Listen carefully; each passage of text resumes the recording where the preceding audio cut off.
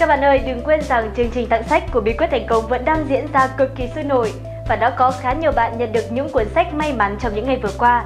Vẫn còn hơn 100 cuốn sách nữa đang chờ đón tất cả mọi người. Và ngày hôm nay thì Bí quyết thành công sẽ gửi tặng 3 cuốn sách đặc biệt này tới 3 bạn. Và để nhận được sách thì các bạn hãy theo dõi thể lệ ở phía dưới phần bình luận của video này nhé. Người khôn ngoan có khả năng thành công hơn bởi sự bình tĩnh trong mọi khủng hoảng. Họ chín chắn, có cái nhìn bao quát, biết cách khoan dung trong những tình huống bất an và vẫn suy nghĩ tích cực rằng ngay cả vấn đề khó khăn nhất vẫn có giải pháp. Muốn sống khôn ngoan hơn thì học hỏi từ những kinh nghiệm sống, từ những câu chuyện hay bài học là điều hết sức thiết thực. Những bài học trong cuộc sống luôn dạy ta rất nhiều điều về cách cư xử mang tính nhân văn. Mỗi câu chuyện lại là một bài học, một góc nhìn mới tích cực hơn về cuộc sống này. Ở video này, xin mời các bạn hãy lắng nghe 7 câu chuyện nhỏ mà bạn nên ghim vào não. 7 câu chuyện này sẽ giúp bạn sống khôn ngoan hơn và thành công hơn trong cuộc sống. Mời các bạn cùng đón xem video ngay sau đây.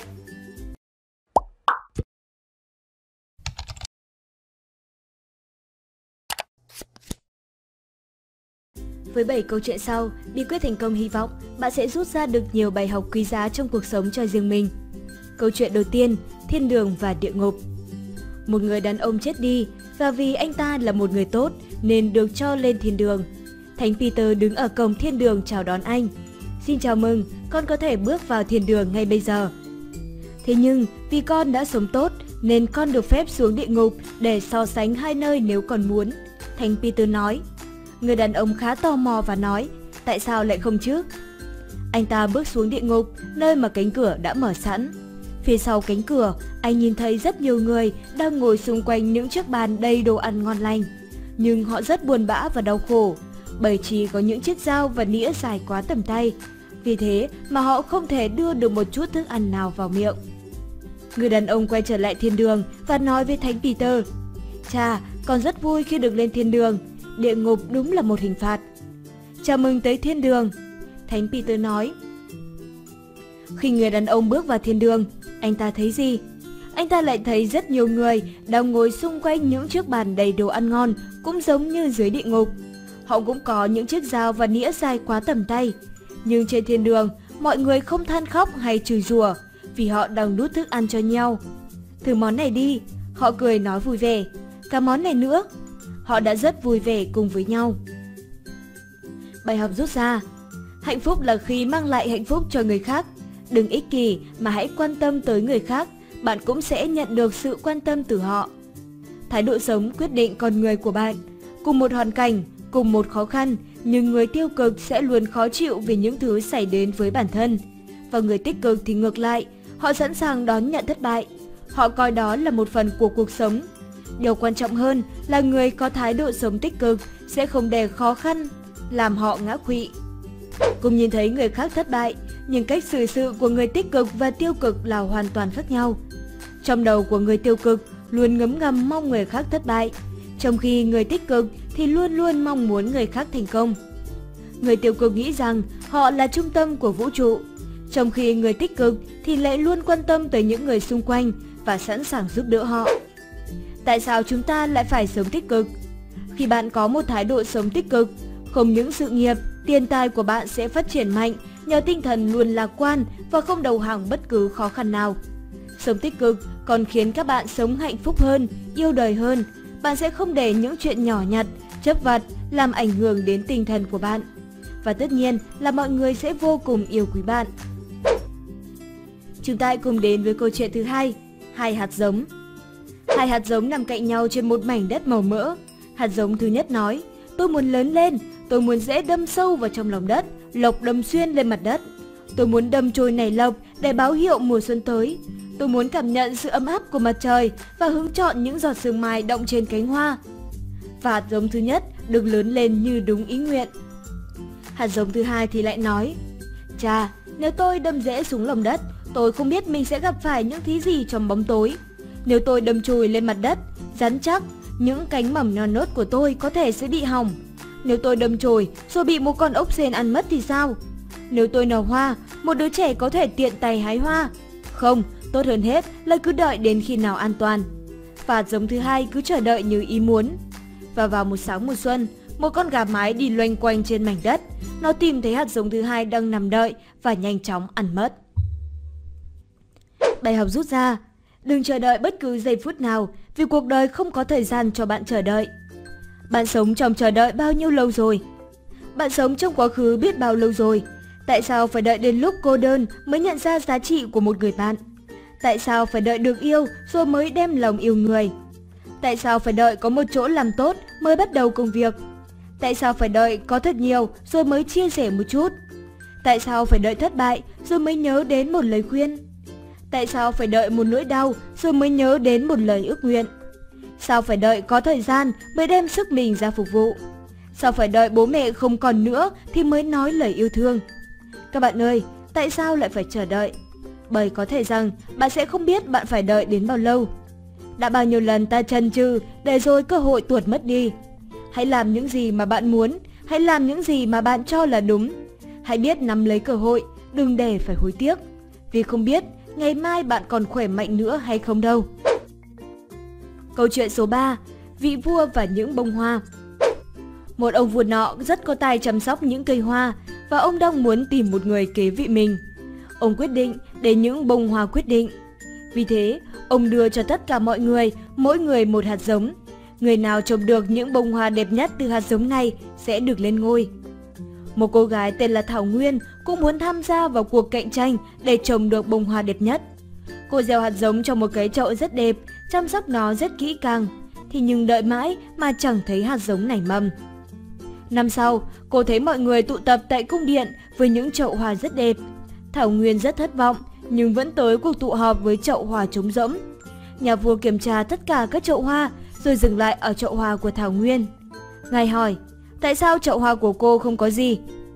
Thưa Điện Hạ, tôi đã làm tất cả mọi thứ để nó lớn lên, nhưng tôi đã thất bại. Cô gái trả lời. Không, cô không thất bại.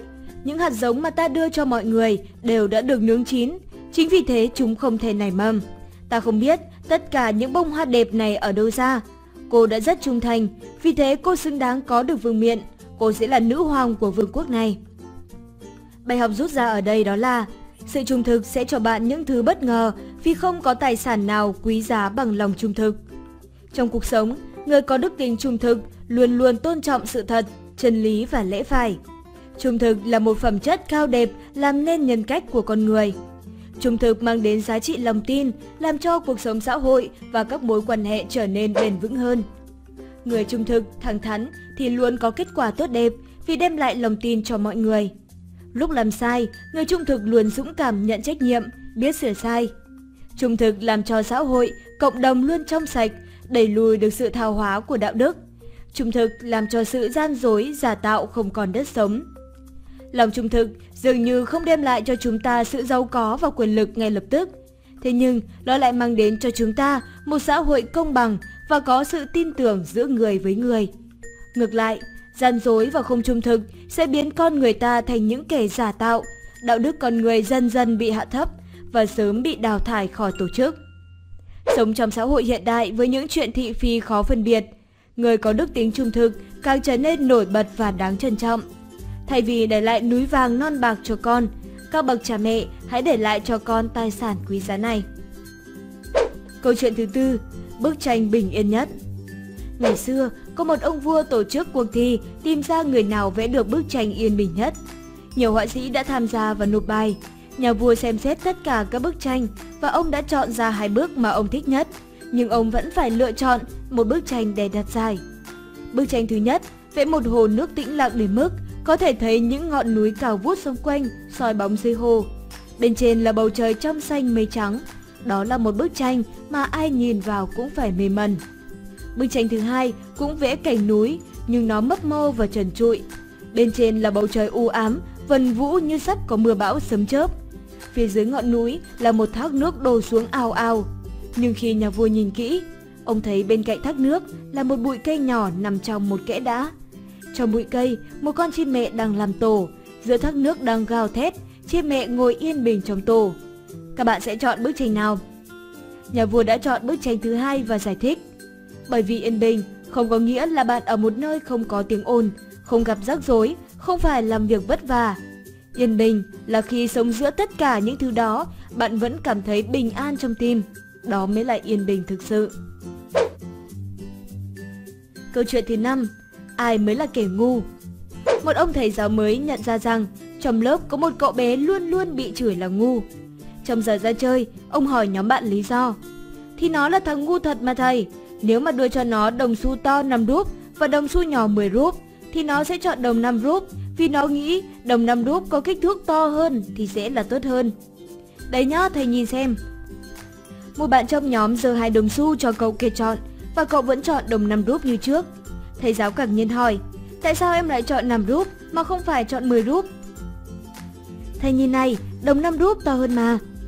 Tan trường, thầy đến chỗ cậu bé hỏi lại. Chẳng lẽ em không thể hiểu được, đồng 5 rúp chỉ to hơn về mặt kích thước, nhưng đồng 10 rúp thì em có thể mua được nhiều thứ hơn. Nếu em lấy 10 rúp thì lần sau bọn nó sẽ không cho em nữa. Cậu bé kia trả lời. Bạn có nhận ra được điều gì từ câu chuyện trên hay không? Bạn có thể nghĩ rằng cậu bé trên thật ngờ nghệch và ngu xuẩn khi chẳng hề biết phân biệt giá trị của đồng tiền. Nhưng bạn đều biết rằng cậu bé trên đã thu lợi một khoản không hề nhỏ sau những lần tỏ ra ngờ nghịch đó. Người ta thường nói, ngu mà tỏ ra nguy hiểm thì không có gì phải sợ. Đáng sợ là người nguy hiểm mà tỏ ra ngu. Vì vậy, đừng xem thường người đối diện với bạn, bởi người đối diện với bạn chưa chắc đã ngu như bạn nghĩ. Hãy luôn giữ một thái độ khiêm tốn đối với tất cả những người mà bạn gặp hàng ngày. Còn bây giờ thì xin mời các bạn cùng tiếp tục đón xem những câu chuyện còn lại. Nhớ nhé, những câu chuyện thấm thía và tâm đắc thì bí quyết thành công thường để sau cùng. Vì vậy, đừng bỏ lỡ những câu chuyện sau của chúng tôi. Câu chuyện thứ 6, miếng bánh nghỉ cháy. Khi tôi lên 8 hay 9 tuổi gì đó, tôi nhớ thỉnh thoảng mẹ tôi vẫn nướng bánh mì cháy khét. Một tối nọ, mẹ tôi về nhà sau một ngày làm việc dài và bà làm bữa tối cho cha con tôi. Bà dọn ra vài lát bánh mì nướng cháy, không phải cháy xém bình thường mà cháy đen như than. Tôi ngồi nhìn những lát bánh mì và đợi xem có ai nhận ra điều bất thường của chúng và lên tiếng hay không. Thế nhưng, cháu của tôi chỉ ăn miếng bánh của ông và hỏi tôi về những bài tập cũng như những việc ở trường học như mọi hôm. Tôi không còn nhớ tôi đã nói gì với ông hôm đó, nhưng tôi nhớ đã nghe mẹ tôi xin lỗi ông vì đã làm cháy bánh mì. Và tôi không bao giờ quên được những gì mà cha tôi nói với mẹ tôi. Em à, anh thích ăn bánh mì cháy mà. Đêm đó, tôi đến chúc cha tôi ngủ ngon và hỏi có phải thực sự ông thích bánh mì cháy hay không. Cha tôi khoác tay qua vai tôi và nói Mẹ con đã làm việc vất vả cả ngày và mẹ rất mệt. Một lát bánh mì cháy chẳng thể làm hại ai con ạ. À. Nhưng con biết điều gì sẽ thực sự gây tổn thương cho người khác hay không? Đó chính là những lời chê bai và trách móc cay nghiệt đấy. Dư ông nói tiếp, con biết đấy, cuộc đời đầy dễ những thứ không hoàn hảo và những con người cũng không toàn vẹn. Cha cũng khá tệ trong nhiều việc, chẳng hạn như cha chẳng thể nhớ ngày sinh nhật hay là ngày kỷ niệm như một số người khác. Điều mà cha học được qua nhiều năm tháng đó là học cách chấp nhận sai sót của người khác và chọn cách ủng hộ cách khác biệt của họ. Đó chính là chìa khóa quan trọng nhất để tạo nên một mối quan hệ lành mạnh, trưởng thành và bền vững con ạ. Cuộc đời rất ngắn ngủi để thức dậy với những hối tiếc và khó chịu. Hãy yêu quý những người cư xử tốt với con và hãy cảm thông với những người chưa làm được điều đó. Bài học rút ra ở đây đó là trong cuộc sống thì bạn cần phải biết cách học cảm thông đối với điểm yếu hay điểm hạn chế của người khác. Cảm thông với cuộc sống, tính cách của mọi người xung quanh trong gia đình, bạn bè hay là vợ chồng sẽ giúp bạn có một cuộc sống dung hòa xung quanh. Cuộc đời thì không có ai có thể hoàn hảo được tất cả. Thay vì nhìn vào những lỗi nhỏ của họ thì tại sao chúng ta lại không nhìn vào những mặt tích cực để đối xử và thông cảm với họ? Con của bạn mải xem phim và không làm bài tập về nhà. Thay vì tức giận nổi đoá với đứa trẻ, tại sao bạn không cảm thấy hạnh phúc? Vì ít nhất con của bạn còn khỏe mạnh, còn nhanh nhẹn và còn hơn rất nhiều đứa trẻ bất hạnh khác ngoài kia. Bố mẹ của bạn luôn khó tính với bạn, bạn cảm thấy khó chịu và có đôi lúc bạn chợt nghĩ mình không nên sinh vào ngôi nhà này. Nhưng vì một chút khó tính đó đã che mờ đi tất cả tình yêu thương của gia đình dành cho bạn. Tại sao bạn không nhìn vào những lần bố vất vả kiếm từng đồng để đóng học phí cho bạn? Tại sao bạn không nhìn vào những lần mẹ thức khuya dậy sớm nấu cho bạn những món ăn ngon? Con người ta rất dễ nhìn vào một chấm đen trên trang giấy trắng để đánh giá sự việc nào đó.